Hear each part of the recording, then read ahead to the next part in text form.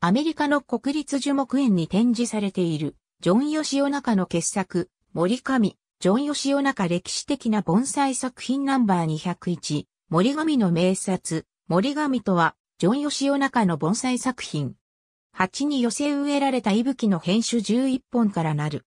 最初の1本を中が育て始めたのは1948年のことである。1984年に中がアメリカ盆栽連盟に作品を寄贈し、以降、森神はアメリカ国立樹木園で展示されている。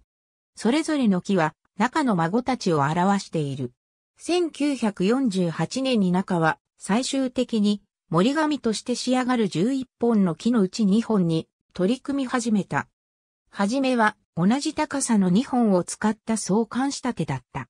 1953年には彼が持つ講座での実物教授を通じて、伊吹の直幹盆栽を制作している。さらに一本を手に入れると、土に埋め戻して徐々に細く、形が整うように育てていった。それが展示に耐えうると中が判断したのは1960年だった。森紙に初めて寄せ植えとしての姿が定まったのは1964年のことである。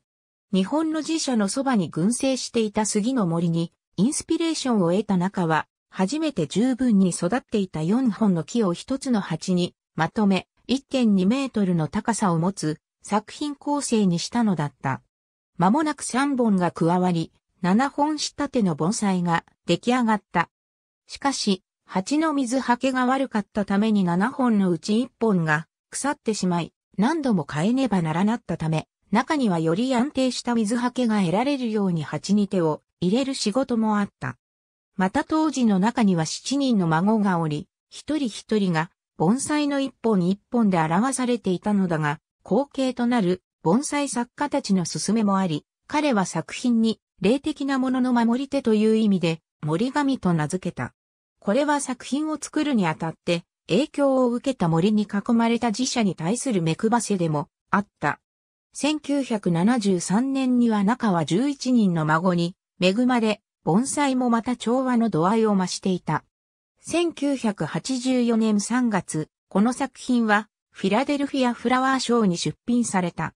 ショーの閉幕にあたって、中は自身も1977年の創立に尽力したアメリカ盆栽連盟への寄贈を表明し、作品はワシントンの国立樹木園内にある盆栽、盆景博物館にできた北、アメリカ館で展示されることになった。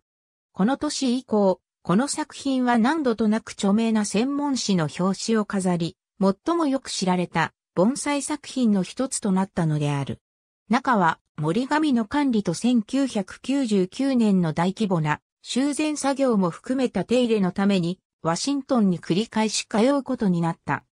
1999年のうちに彼は2作目の森神となる作品をものにしている。2004年に中が死んだ時、あるフランスのサイトに掲載された漫画には、こんな一文があった。ジョン中が亡くなった。囁くような驚きの声が森神の枝の間をめぐって上がった。ありがとうございます。